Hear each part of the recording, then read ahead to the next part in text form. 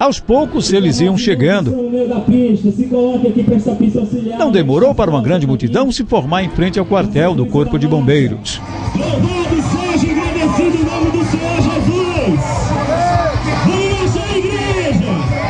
A Marcha para Jesus atraiu gente de todas as idades. Este jovem veio participar pela primeira vez. Olha, para mim é muito gratificante porque eu já era de Timon e tô vindo a primeira vez aqui, eu tô achando muito bom e importante para a cidade. Segundo os organizadores, membros de 27 igrejas se uniram para participar do evento. Vamos lá, povo de Deus, marchando!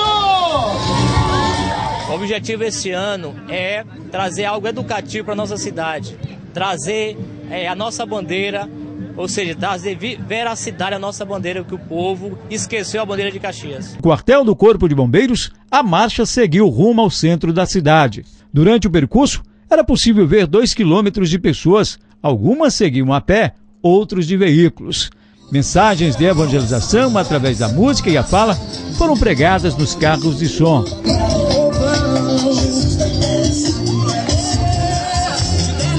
Depois de uma hora de marcha, uma pequena parada no bairro Trizidela para um momento de oração. Eram quase sete da noite quando a multidão chegou à Praça do Panteão um público de cerca de 15 mil pessoas aguardava o melhor momento do evento. As mensagens de fé e esperança foram levadas no show da pastora Ludmila Ferber. Sobre os céus